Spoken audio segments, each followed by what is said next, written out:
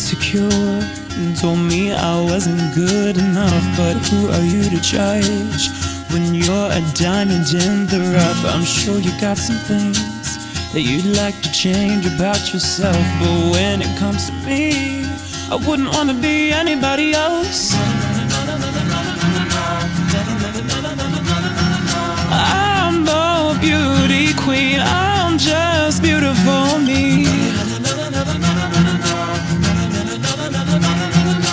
You've got every right to a beautiful life. Come on, who says, who says you're not perfect? Who says you're not worth it? Who says you're the only one that's hurting? Trust me, that's the price of beauty. Who says you're not pretty? Who says you're not beautiful?